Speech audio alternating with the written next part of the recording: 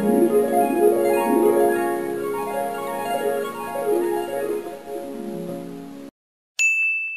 أهلا بكم. إن شاء الله هنعمل تحليل شخصيات مسلسل المشوار. كل يوم هننزل تحليل شخصية. بنجيب الفنان ونحلل شخصيته. بنحلله بناء عن علم الفراسة وهو مدلول الباطن من الظاهر. يعني من ملامح الوش بنعرف الشخص ده بيتفاعل في المحيط بتاعه إزاي؟ بيتفاعل إزاي مع أصحابه مع زملائه مع أصدقائه مع بيته مع كل الناس المحيطة بيه مع شريك العمر. ده كله إحنا هنتكلم عليه في حلقاتنا الجاية. تعالوا نشوف بقى النهارده مين معانا نفتح الكمبيوتر ونشوف هنحلل مين النهارده. يلا. معانا النهاردة تحليل شخصية عبد العزيز مخيون والله أنا قعدت أقول عليه مخيول بقالي بقالي كام؟ من يوم ما اتولدت لحد النهاردة. سنين كتير بقول عليه مخيول وفي الآخر وأنا بكتبها دلوقتي طلع مخيون بقى عادي يعني. يلا نبدأ التحليل. تعالى كده نشوف في الأول خالص الصورة دي قديمة. ولو جينا نتكلم برضو على الأشخاص اللي ليهم نفس هيكل الوش كده هنلاقي عندنا محمد صبحي سنبل برضو شخصية آه، عندها معلومات زي ده. طيب الفرق بقى بقى في في الأشخاص اللي زي دي. الشخص ده عنده معلومات كتيرة جدا. أنا لما بسمع صوته بس بحس براحة نفسية. نحس إنها من طريقة تمثيلها شخصية مثقفة جدا جدا جدا جدا. آه عنده علم فاهم لما هو تعبيراته إن هو شخصية محترمة. يعني حتى الأدوار اللي بياخدها شخصية محترمة.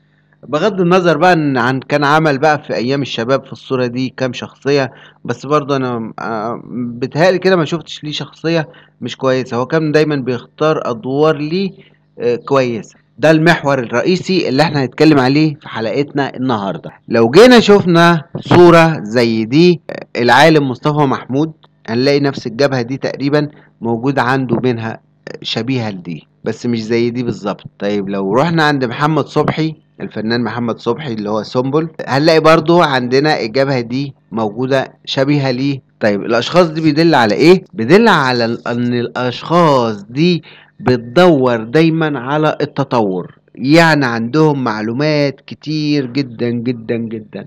عنده معلومات قوية معلومات وثقافة مش موجودة عند أي حد. طيب الشخصية دي لوحدها كده شخصية جواها حنان شخصية شاعرية. يعني شخص حنين أصلا. طيب تعال بقى نبدأ نحلل كده واحدة واحدة. جبهة كبيرة يعني شخص مفكر عقلاني.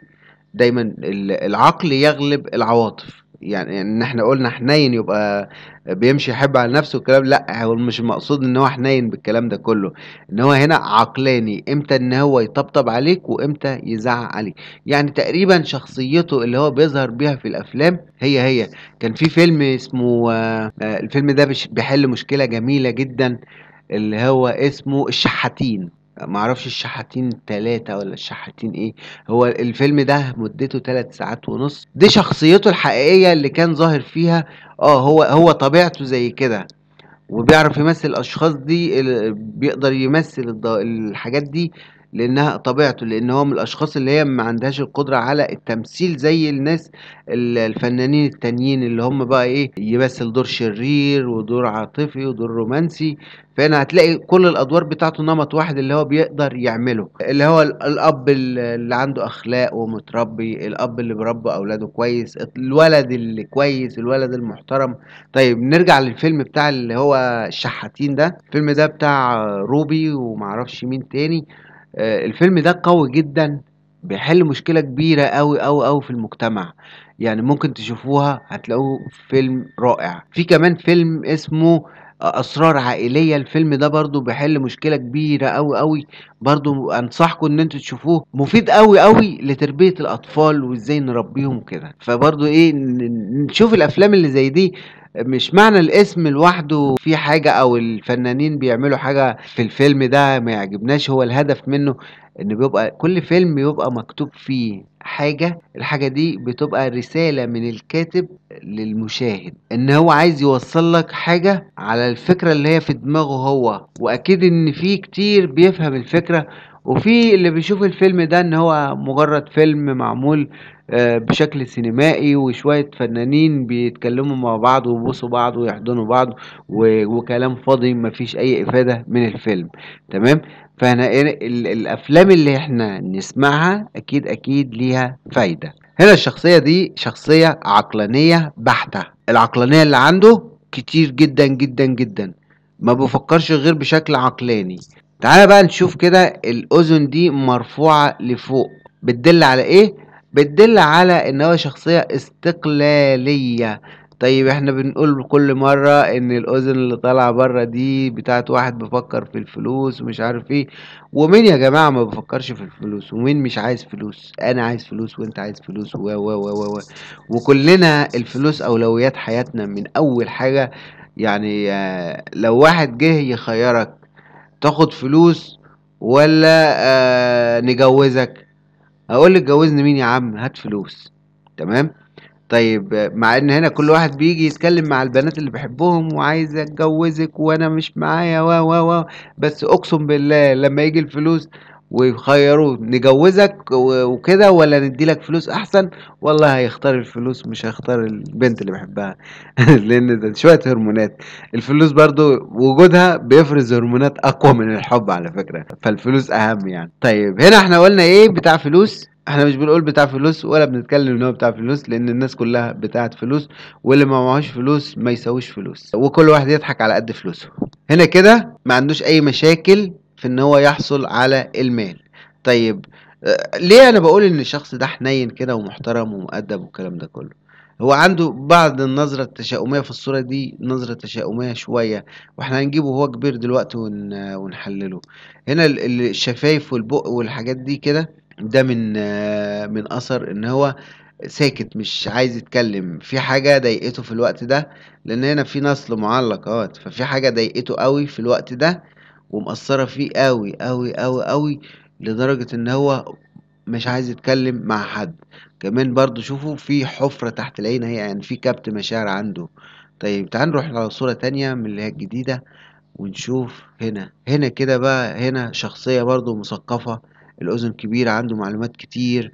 الأذن الكبيرة دي بتدل على معلومات كتير بتدل على إن هو هيعيش عمر كبير يعني الأعمار بيد الله بيحب يسمع للآخرين. يعني أنت لما تروح له وعايز تحكي له مشكلة فهيقوم قاعد يقول لك احكي لي بالراحة كده. شوف هيقول إيه؟ احكي لي بالراحة لأن هو أساسا شخص طيب حقاني. طب إحنا نقول حقاني دي منين؟ الحقاني دي بنجيبها من زاوية الحاجب ده. فعنده حدية. فما عندوش بقى إيه اللي يغلط لازم يتحاسب. تمام؟ يعني اللي عنده زاوية بحدية من هنا فالأشخاص دي حقانية قوي. فعملت حاجة آه يبقى لازم تصلحها دلوقتي. لأنه لو ما عملتش اللي هو عايزه هيتقلب بقى معاك لشخصية غضوبة وعنيفة وكده. وهيسمعك كلام الله الغني إن أنت تسمعه أصلا. يعني هو ممكن يجي يتكلم معايا هيشتمني مثلا؟ لا هو مش قصده يشتمك لا. هو هو كده كده أساسا بيحترم الآخرين لأن المسافة دي من أول هنا كده لحد هنا المسافة دي يعتبر الأنف دي صغيرة فبتدل على إن هو بيحترم الآخرين. كمان هي كبيرة ضخمة من قدام فبتدل على إن هو بي شخصية طيبة يعني عنده حب المعرفة والكلام ده كله. عندنا هنا شخصية قوية في المعلومات يعني الجبهة دي فيها معلومات كتير الأذن دي فيها معلومات كتير الأنف دي فيها معلومات كتير. طيب كمان إن هو شخصية عملية فإحنا قلنا قلنا إن هنا إن هو حقاني ليه؟ بسبب زاوية الحاجب دي. فالأشخاص دي لو مش هتنفذ رغباتهم فهنا يعمل إيه؟ هيزعلك هيتكلم معاك بطريقة أنت مش حاببها. طيب الطريقة دي هيتسافل مثلا عليك ويشتمك وي- ويقول لك أبوك وأمك وأنت حيوان وأنت مش عارف إيه لا لا لا مش هيقول لك كده. هو هنا الكلام بتاعه هيبقى يسم بدنك بيه. ليه؟ لأن الشفايف أصلا رفيعة فبتدل على إيه؟ بتدل على اختصار الكلام. اللي هو عايز يتكلم معاك كلمتين تفهمهم وتحطهم حلقان في ودانك وتبقى زي الفل كده وتسمع الكلام. ما سمعتش الكلام يا حبيبي؟ تعالى بقى علشان أنا هسلخك وأشفيك. كمان هنا ال- العين دي بقى دي بقى مش مش دموع حبسية. اللي هنا دي دي مش الدموع الحبسية. تمام؟ ده الجفن ده هو اللي منتفخ وبيدل على إيه؟ بيدل على إن هو بيقرأ كتير آه، آه، عنده معلومات برضو كتير كده لأن نن العين صغير فده بيدل على إيه؟ بيدل على شدة التركيز. طيب ما نيجي نشوف الصورة القديمة ونشوف هل نن العين كان صغير؟ نن العين هنا ما كانش صغير للدرجة اللي هي يعني كان صغير آه بس مش للدرجة على الوش هنا مش صغير كمان العين دي على الوش مش صغيرة. تمام؟ يعني عشان نعرف نميز بينها وبين أي حاجة. فهنا الشفايف دي أصلا شفايف عندها إيه؟ عندها اللي هي تقولك الخلاصة. فده لما يقعد في حكم فهيحكم بالعدل. ليه؟ مش هيميل على حد هنا ولا هيميل على حد هنا.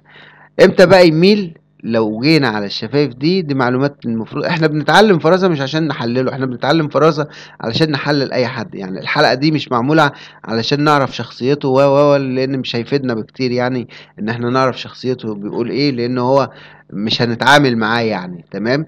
فإحنا بنتعلم على الإمكانيات اللي في وشه الإمكانيات اللي في وشه حلوة قوي إمتى بقى يكون ممكن إن إحنا نقول إن هو مش هيحكم بالعدل؟ هنا كده الشفايف دي لو رفيعة قوي قوي قوي فهو ممكن يضلل. تمام؟ طيب الجفن اللي فوق ده لو هو جاي ومرتخي ونازل لحد هنا بشكل مثلث يعني هنا العيون شكلها مثلث تمام؟ لكن مش بالشكل اللي هو هنا. الوقت ده كان بيطلب احتياج للمال يعني كان عايز فلوس. آه هنا في آه في هنا شحمة الأذن هنا مش من طبع الأشخاص اللي هي بتغدر والكلام ده. طيب هو هنا كان عنده بقى مشاكل وحاجات من دي وكده فهي اللي وصلت عينيه بالشكل ده الاحتياج المادي بيعمل أكتر من كده. اقترحوا لنا نتكلم في إيه الحلقات الجاية. وده كان تحليل فناننا اليوم ويا رب يكون عجبكم واللي وصل معانا للنهايه وما عملش اشتراك يشترك في القناة. وفعل الجرس هيوصلك كل الإشعارات واللي لسه ما عملناش لايك يعمل لنا لايك. سلام.